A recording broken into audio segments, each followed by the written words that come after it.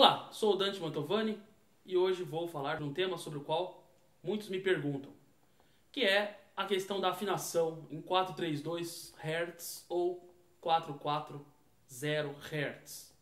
Em primeiro lugar, o que vem a ser Hertz? Hertz é a medida da frequência da onda sonora. Convencionou-se chamar e utilizar essa medida para o comprimento das ondas sonoras. Que nós precisamos saber para entender como funciona essa dosimetria da onda sonora é que uma afinação em 432 Hz é mais grave. Isso faz toda a diferença quando nós formos é, buscar entender por que a afinação passou no século XIX do convencional, que era 432 Hz, para 444.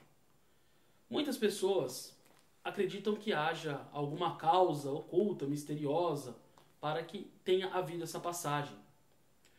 É claro que não se pode deixar de lado o fato de que a afinação em 432 Hz provoca uma sensação de harmonia muito grande, uma vez que as frequências atingem proporções que são agradáveis e palatáveis ao ouvido. E também porque há sons que naturalmente são agradáveis. A frequência de 432 deixa então o ouvido mais palatável para a música. Já a frequência de 40, é, 440 Hz é mais aguda e há uma tendência em se subir a afinação. E por que, que acontece isso? Na verdade, para além dessas é, conspirações que possam ter havido para que a afinação deixasse de ser 432 e passasse a ser 440, a causa mais razoável e que é de comum conhecimento no meio musical é o fato de que, a partir do século XIX, a indústria de instrumentos musicais teve um grande impulso.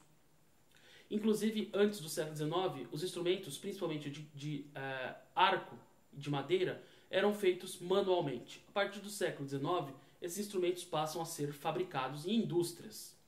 E aí, as indústrias seguem um princípio de organização que leva em conta eficiência e a minimização dos gastos, certo? Então, por uma questão de economia fabril, a frequência dos instrumentos passou a ser padronizada em 440. Não se sabe exatamente a razão, mas, como eu disse no início, as frequências mais graves têm, é, quer dizer, as frequências menores são sons mais graves e as frequências maiores são sons mais agudos. Portanto, basta você ver a diferença que existe entre um violino e um contrabaixo. O contrabaixo é é umas 20, 30 vezes maior que um violino. O contrabaixo é um instrumento mais grave, exige mais material, a corda é mais grossa, é, a madeira exigida para fazer um contrabaixo é muito mais do que é, a madeira exigida para se fazer um violino. Então, quanto mais aguda a afinação, o som mais agudo, usa-se menos material. É uma razão é, provável, razoável, é, porque seria muito difícil que em todos os lugares essa padronização fosse estabelecida por uma razão ideológica ou que não tivesse a ver com um princípio material. Então, a causa é mais material do que, é, digamos assim, espiritual. Muitas pessoas perguntam se existe alguma relação com seitas, com ocultismo. Nada disso. É claro que existe uma, uma sintonia espiritual entre aquilo que é feito na indústria, é, nas artes, no comércio e práticas espirituais. Nós sabemos que no século XIX, e também isso foi agudizado no século XX, as práticas espirituais passam a ser mais diversificadas, vamos dizer assim, e passam a abarcar é, certas seitas, certas práticas que antes não tinham muito espaço. Então, a abertura para essa nova espiritualidade, vamos dizer assim, abre também a, a porta para é, outras formas de se pensar, inclusive na parte da, é, da indústria ou mesmo da parte mercantil. Quer dizer, a parte mercantil assume um papel mais importante do que a busca pela beleza, pela harmonia, pela perfeição do timbre. Isso deixa de ser tão importante. E a fabricação em série passa a ser mais importante. São valores que estão em sintonia com a época. Certo? Muito bem.